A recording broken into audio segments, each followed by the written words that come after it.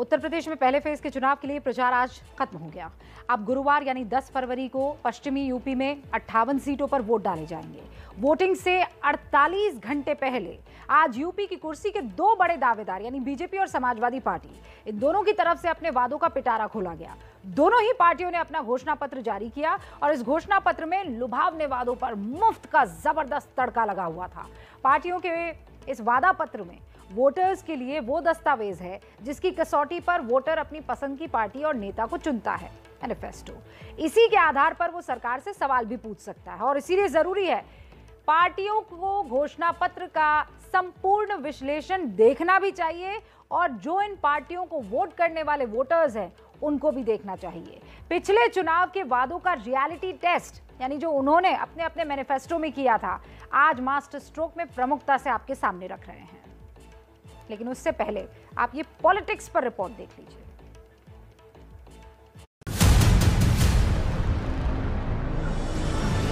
माननीय गृहमंत्री जी माननीय मुख्यमंत्री जी माननीय अध्यक्ष जी सभी सम्मानित हैं। जो भी भारतीय जनता पार्टी कहेगी उस संकल्प को मंत्र मान करके पूरा करेगी।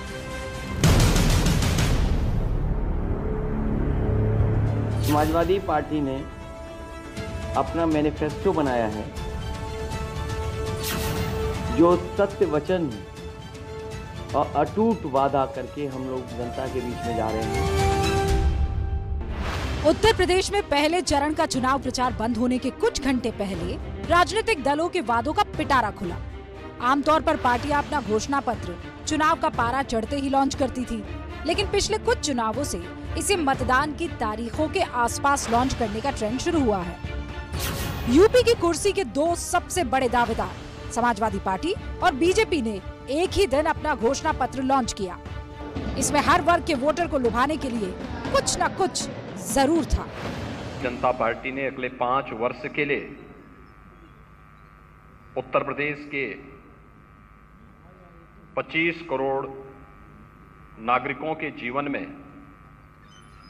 परिवर्तन करने के अपने लक्ष्य को लेकर के अपना नया लोक कल्याण संकल्प पत्र जारी किया है। सभी किसानों को सिंचाई के लिए मुफ़्त बिजली ब्याज मुक्त लोन बीमा एवं पेंशन की व्यवस्था की जाएगी। सभी बीपीएल परिवारों को प्रति वर्ष दो एलपीजी सिलेंडर मुफ़्त में दिया जाएगा। महिलाओं को सरकारी नौकरियों में 33 फ़ीसदी आरक्षण।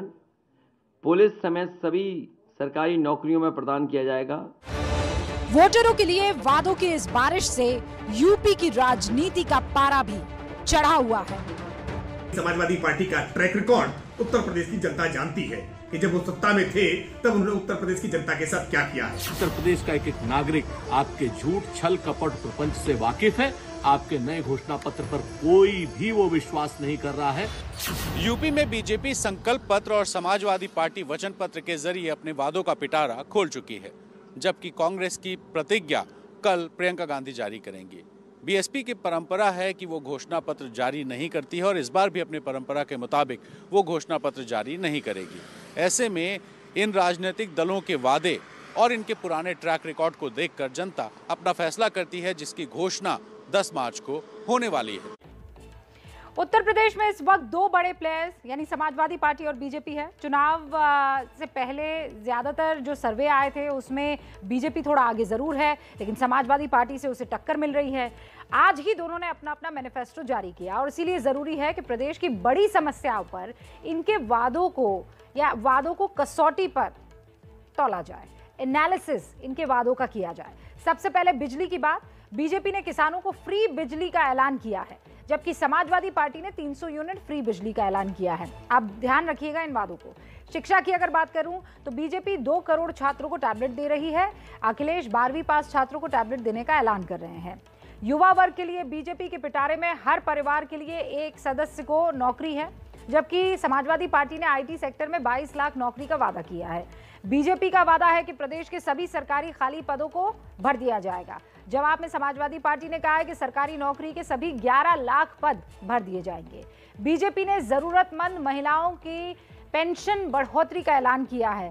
अखिलेश ने सरकारी नौकरी में 33 फ़ीसदी महिला आरक्षण की बात कही है। बीजेपी ने एमएसपी को मज़बूत करने की बात कही है। अखिलेश ने किसानों की सभी फ़सलों पर एमएसपी का वादा कर दिया है। बीजेपी ने गन्ना किसानों को 14 दिनों में भुगतान की बात कही। समाजवादी पार्टी ने 15 दिनों में। स्वास्थ्य क्षेत्र के लिए बीजेपी हर ज़िले में मेडिकल कॉलेज का वादा कर रही है। अखिलेश, स्वास्थ्य बजट तीन गुना बढ़ाने का वादा कर रहे हैं तीन गुना करने का वादा कर रहे हैं।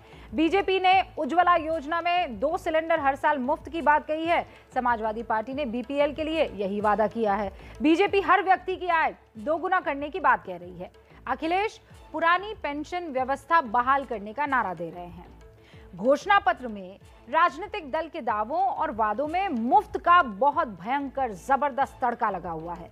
लेकिन मुफ़्त की जो ये रेवड़ियाँ बांटी जा रही है ना, उनकी जमीनी सच्चाई बाद में सबके सामने आ जाएगी। इन्हें पूरा करने में यूपी का खजाना कैसे खाली हो जाएगा, इस बात को आप समझिए। यूपी में फ्री की पॉलिटिक्स में सबसे ज़्यादा होड़ बिजली को लेकर लगी है। लेकिन यूपी में बिजली की खपत बिजली कंपनियों का घाटा, ये कहता है कि फ्री बिजली की पॉलिटिक्स यूपी की सेहत के लिए शायद अच्छी साबित ना हो। यूपी में कुल उत्पादन करीब सत्ताईस हज़ार मेगावाट का है और पीक डिमांड करीब तीस हज़ार मेगावाट की है। ऐसे में यूपी पीक सीज़न में कमी झेलता ही है। इस वक्त यूपी में करीब दो करोड़ अस्सी लाख उपभोक्ता हैं और बिजली कंपनियों का घाटा करीब ग्यारह हज़ार करोड़ का है। फ्री के वादों में किसानों को फ्री बिजली का भी वादा ज़ोर शोर से किया जा रहा है। अगर यूपी में किसानों के बिजली खर्च की बात करें तो यूपी सरकार पहले ही दबाव में नज़र आती है। यूपी में फ़िलहाल किसानों को करीब ग्यारह हज़ार करोड़ की बिजली सब्सिडी पहले से ही दी जा रही है। अब अगर फ्री बिजली दी गई तो करीब तीन हज़ार करोड़ का अतिरिक्त भार पड़ेगा। इससे सिर्फ़ किसानों को बिजली के लिए यूपी के खजाने का भार चौदह से पंद्रह हज़ार करोड़ का हो जाएगा। फ्री बिजली के साथ ही फ्री सिलेंडर बांटने की भी होड़ लग गई है। ये भी खजाने के लिए कम भारी नहीं पड़ने वाला। यूपी में फ़िलहाल फ्री सिलेंडर के लाभार्थियों की कुल संख्या लगभग एक करोड़ इकसठ लाख है।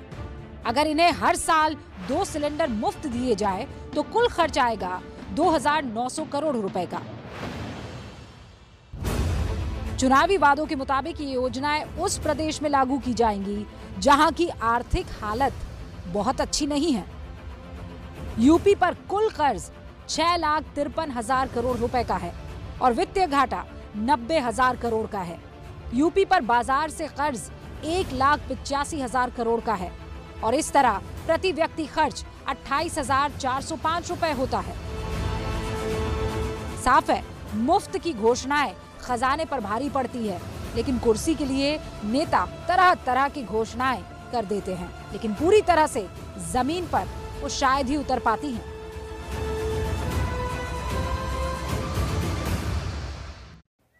और इसीलिए अब अखिलेश के 2012 के उन वादों का टेस्ट करना है जिसके दम पर उन्होंने सरकार बनाई। आपके सामने वो सारे वादे और उसकी अस, असलियत जो है सामने रखूँगी। सबसे बड़ा वादा किसानों का कर्ज माफ़ करने का था। कर्ज माफ़ी तो हुई लेकिन शर्तों के साथ।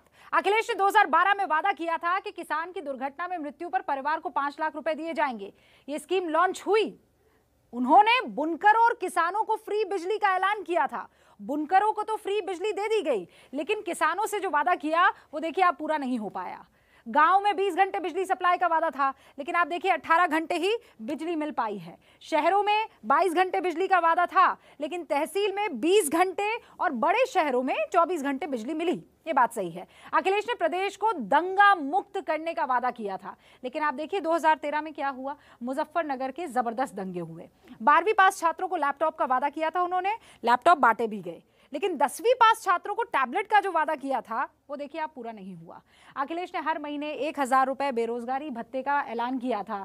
ये योजना जो है, वो 2014 तक ही चल पाई है। अब इसी तरह बीजेपी के वादों को भी आप देखिए कितना उन्होंने वादे किए और उसे पूरा किया 2017 से। बीजेपी ने 2017 में छोटे किसानों का कर्ज माफ़ करने का ऐलान किया था। ये देखिए, ये वादों का रियलिटी टेस्ट है। 2017 में छोटे किसानों का कर्ज माफ़ करने की बात की थी। एक लाख तक का फ़सल कर्ज जो है वही माफ़ हो पाया। है 2017 में क्या वादा किया था कि 14 दिनों में गन्ने का भुगतान किया जाएगा? सरकार ने पुराना बकाया दिया तो सही, लेकिन 14 दिन में भुगतान का जो वो वादा था, वो पूरा नहीं हुआ।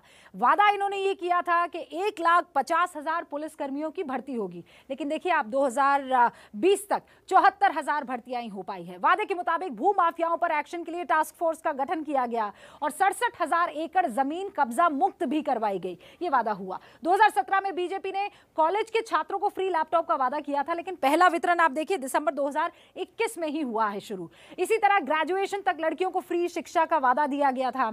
हालाँकि सरकार के आर्थिक मदद के तौर पर पंद्रह हज़ार रुपए बांटे गए हैं ये बात आ रही है। हर घर में जल पहुँचाने का वादा किया गया था 2017 में। लेकिन हकीकत क्या है? तेरह फ़ीसद लोगों के घर तक ही नल से जल पहुँच पाया है। चुनाव में देखिए एंटी रोमियो दस्ता बनाने का वादा किया गया था। आ, दस्ते का गठन हुआ ये बात सही है। और चौदह लोगों को गिरफ़्तार भी किया गया है। चुनावी वादों में 25 मेडिकल कॉलेजेस खोले जाने थे, लेकिन सिर्फ़ 16 मेडिकल कॉलेजेस ही पिछले पाँच साल में खुले हैं। दरअसल प्रदेश की आर्थिक स्थिति और चुनावी वादे पूरा करने का जो गणित है, जो हमने आपको बताया, वही नेताओं के लिए सबसे बड़ी मुसीबत बन जाता है और इसीलिए वादे होते हैं, लेकिन पूरे नहीं होते हैं।